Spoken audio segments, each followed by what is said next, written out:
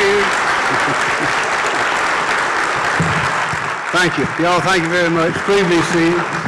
Boy, what a great group. It, you, you don't really don't see many like this. Uh, this is a great response, and of course, and I'll, I'll be brief. I want to see some other parts of the program. We're, we're emphasizing today some of what the, the law enforcement aspects of this. Of course, we know it has a law enforcement aspect, strong one, but it also is a health question that transcends everything that goes on in South Carolina. And the idea of getting the people the, who have different views of various parts of the problem, the situation, and put them, putting them together in one place where they learn each other's names, get familiar, learn about the different aspects of the problem, and learn to collaborate and communicate. I am convinced in the time that I've been in various positions and trying to get things done that that's the secret. And often it's not there. Often everyone works in the silos and they don't talk to each other. And it might be the neighbor down the street or somebody in another town has the answer that you need, the part of the puzzle to put it together. Sarah mentioned Operation Jackpot, which was named by a reporter years ago. She said, as Holly Gatling worked for the state newspaper, she said, y'all really hit the jackpot. How did all that happen? Well, it was collaboration and coordination. As Sarah mentioned, we knew we had a drug trafficking problem. At that time, it was hashish and marijuana coming into the state. We didn't know where it was all getting in. We knew we did not have enough law enforcement officers to ring the coastline and, and to wait out there in the middle of the night. Anybody ever been on a snipe hunt when you were a teenager? That's when they put you out there, the tricksters put you out there with a burlap sack and a flashlight and you're waiting to catch the snipe, but, but there's no snipes coming. That's a bird. You're not going to catch any snipes. That's what the law officers often felt like trying to interdict the flow of those drugs because they were coming in from across the Atlantic and from down in the Gulf. So we put together a team, uh, a man, the head of the Criminal Investigative Division of the IRS in North Carolina, came to see me. I was a young U.S. attorney, and he said, why don't we put together a group and follow the money that these people are making? They can't hide it. They don't know, everybody knows the fellow living in the biggest house in town and driving five cars and got a beach house and a mountain house, and he work, works at the dry cleaners. We know he's not making that money. He must be doing something. Let's just use that as a clue. So we put together a team that ended up with the FBI, DEA, Customs, Customs Patrol, SLED, uh, ATF, and the Criminal Investigative Division of the Internal Revenue Service. First time that ever been done in the United States. Ronald Reagan asked all the U.S. attorneys to collaborate and coordinate. We formed a coordinating committee. It still exists in South Carolina. We said collaborate and coordinate, so that's what we did. And ladies and gentlemen, it was like magic. When you put all those people together, each of knew a different part of the puzzle, could see it from a different viewpoint. Things started happening. I won't go too far into it, but just a couple of examples. We had a had a FBI agent and a customs agent go to a Mercedes dealership in Charleston and asked, has anybody been spending more money than they can possibly be making? They said, yeah. There's a tennis pro over there at one of the country clubs. He came in the other day, said he wanted a Mercedes. We knew he couldn't afford it. We said, uh, well, well, which one would you like? And he pointed one out. He said, well, let's go to the office and maybe we can come up with a payment plan for maybe 20 years or something, for, or you can pay for this vehicle. He said, that's all right, I'll take it. And he opened up the trunk on the car he's driving and pulled out a brown paper bag, and this was in about 1979, counted at $43,500 on the hood of the car. Well, that was a clue. he's, he's getting some money from somewhere. Fast forward a few weeks later, Customs Patrol and some other officers were patrolling one of the rivers down there around Calibogue Sound or someplace down there. And over by the edge of the water, they saw what looked like a mast of a sailboat sticking up. And they looked at it, and sure enough, they could see down in the murky water, it looked like a sailboat. So they got a skin diver, went down. It was a brand new sailboat, about a 25-foot beautiful boat. The plug had been pulled to scuttle the boat. Nobody throws away a perfectly good sailboat. So they went inside and they pulled out some papers and trash in the boat. brought it back to the task force office. They had some uh, beer cans and some scribblings and a few little odds and ends and put them out there and the things dried off. And as the various agents from those different agencies walked through, they'd look at that and one would say, well, it doesn't mean anything to me. The other would say, well, it doesn't anything, mean anything to me. Finally, one fellow said, wait a minute, these numbers on this, they've got some directions and then it has a number. I make them up, 1906. He said, where did this come from? They said, that was in the drawer in the sailboat that was scuttled down there at uh, Hilton Head. Why? He said, well, those are the last four digits of the tennis pro's phone number. Well, had they not been working together, shoulder to shoulder, sharing ideas, sharing information, sharing insight, that never would have happened. And we ended up prosecuting, indicting, I think it was 133 people one woman, the rest were men. Most of them were college graduates. They'd never been under investigation for anything before. A couple of them had had some speeding tickets or something like that, but nothing serious. And I, I think we've eventually, I left office after four years, but I think we convicted every single one of them. But they had never been suspected of it before we did not have the solution. We didn't know, we knew we had a problem, but we didn't know how to solve it until we got all the different people who have information and understanding together, and then we solved that problem. We indicted them, 130 something of them, convicted them, and that was four international drug organizations. They've been getting drugs from Lebanon and all over the place, and um, bought almost a billion dollars worth of drugs into, into South Carolina remarkable. That's the same thing we can do right here. With the laws that we've passed recently, and with the innovation and ideas and insight and collaborations that are going on among people in this room, we can have successes like that that we have not seen before in South Carolina. And this is a crisis just as big, perhaps even worse than that one was. The opioid crisis is killing people. It's killing people. And doesn't need to be doing that. All kinds of people. Rich people, poor people, everybody in between.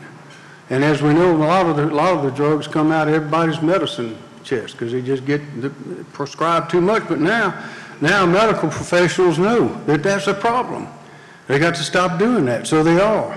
But that only happens, that kind of understanding only happens when you get people who know what they're talking about in their area. It might be very wide, it might be very narrow. But you put them together and it's like magic. You just can't stop it. So that's what's happening here. And what my goal is, is, is to see that the talent, the ambition, the understanding, the dedication, and the love for our fellow man that we have in South Carolina leads us to the top of solutions in this country for this opioid crisis. And I believe we can do it.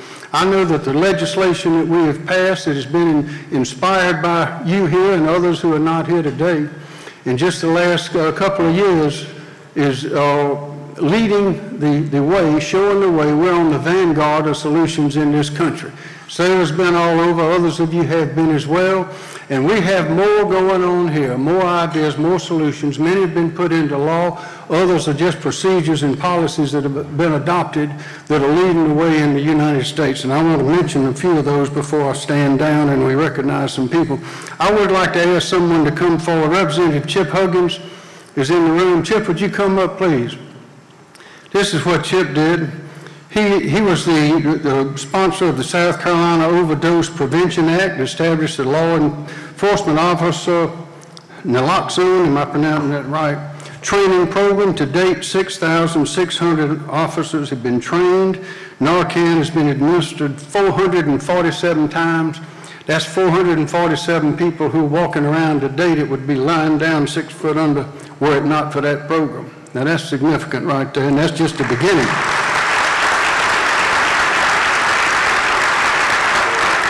I want to congratulate everyone who's involved in that program. It's a great one, but it is a beginning. Chip, would you say something to the folks? Governor, I, I, I can't thank you enough for holding this uh, unbelievable summit. I can look out in this room and I, I just got chills. I can just tell you when I look at all of these agencies that are here, all of you that are here, it just is phenomenal. And I want to say thank you, from the bottom of my heart. Um, You know, I'm thankful to be here. I'm thankful that House Bill 3083 was able to be passed and that those lives have been saved. But there's another person that uh, our governor and myself know very well, and his name is Representative Eric Bedingfield. Um, He was our chairman that went across the state with all of us to listen to each and every one of you with all the issues and to try to put together a package of the things that we can do to try to help. But you know what? We can't legislate this problem away. It's all of us in this room. And I'm going to tell you something. Sarah Goldsby and Joe Shinkar, along with all of you, are to be the ones to be thanked. I'm the message carrier. I'm here for you to help you in any way that I can. I thank you for the recognition, but the most important thing, we got an unbelievable governor that's very much behind this issue, went up to Greenville to sign some bills very quickly into law, and it's helping. So keep it up. Thanks for being here today, and thank you for all you do.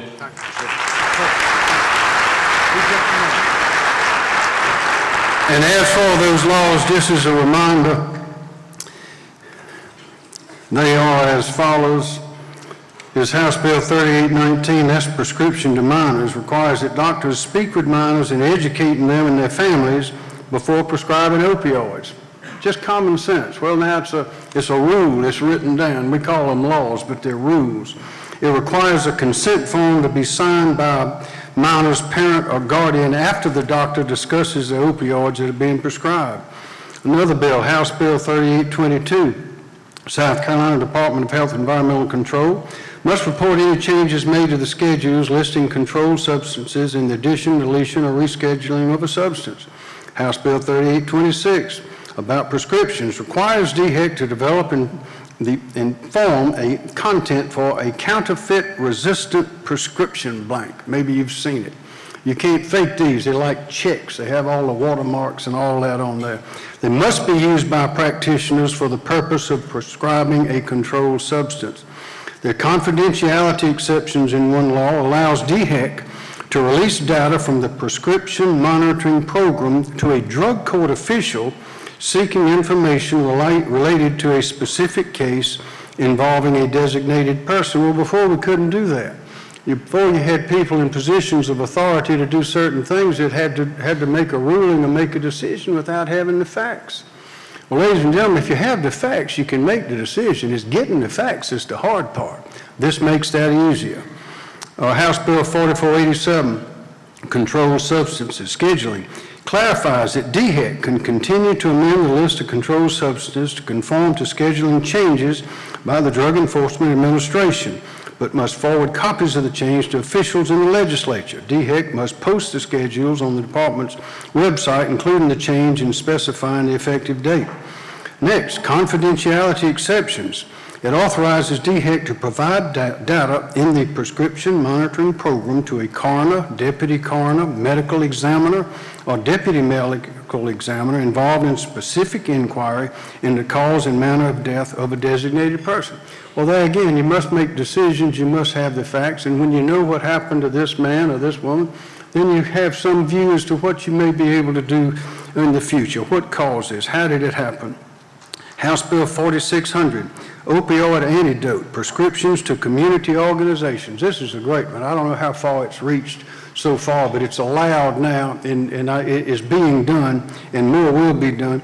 It adds a section to the South Carolina Opioid Prevention Act stating that a prescriber may directly or by a standing order prescribe an op- opioid antidote to a community distributor for the purpose of distributing the antidote to caregivers of people who are at risk of overdosing and to people who know that they have the potential to overdose. That's very important. We can save a lot of lives with that. Another one is addiction counselors. It requires people representing themselves as addiction counselors to be licensed and establishes various requirements. And finally, Senate Bill 919 establishes a seven-day limit on the initial prescription of opioids, the initial prescription of opioids for acute pain management or post-operative pain management. Exceptions are specified and include such things as cancer and hospice care. That was one of the big problems, as you, this is not news to you, but it was, it was news to a lot of folks a few years ago. And that is, I, I have spoken to people myself who went in and had some sort of a procedure. I said, they don't want any pills. They don't like to take pills. They don't want, you know, just don't want them, don't like them. So we, we have to give you some because you might have the pain and it'd be Saturday or Sunday. Here, go and take some. And they get a bottle of 90 pills. And they might take one or two and put the rest in the, up in the bathroom. And of course, they tell us that about half the drugs that are out there came out of somebody's medicine kit. That means we're all, we big, we drug dealers, is what that means. Unwitting, and people throw them in the trash can, people break into your house. That's, that's gonna save some lives right there. So that is why I said, as Chip alluded to, I think we're on the forefront. I have read and heard of no state, no state. When I say a state, I don't mean the outline on the map. I mean the people, the thinkers, the doers in this, in this place that we call South Carolina. That all the explorers way back in the 15 and 1600s were writing back to their sovereign saying there's no place on earth like this place that now they call, we call South Carolina. It's the state of South Carolina, our people are thinking ahead, working together, collaborating, and no one is going, is doing better, doing more, and doing it faster than we are in South Carolina. And I will tell you this, because of who we are, because of who we came from, came from, where we came from, because of what all we've been through, and because most of us related to each other one way or another, we can move quicker and make decisions. We're more nimble, we're more versatile, we can communicate quicker and faster than anybody else. There's a joke about the young lawyer starting practice out in a rural area. He said he had clients coming in, they'd say, he often would get this kind of question. They say, Mr. Lawyer, got a question that if we married in South Carolina and divorced in Georgia, are we still cousins? You see? Everybody knows everybody in South Carolina. And that gives us an advantage. And these industry people I talk to from around the world, from around the world, they are impressed with the people of South Carolina. They say it's a handshake state. When somebody in South Carolina gives you their word, they'll keep it. And that's why they're coming here, as you read about in the newspaper every time you open it up. So this is a place we're going to keep our word. We're going to keep our word to the people of this state that we're going to do whatever it takes to see to it that our state, our people, are as safe as they can possibly be made from the scourge of opioids. From the scourge of opioids. And we can do it. Thank you. Thank you for being here.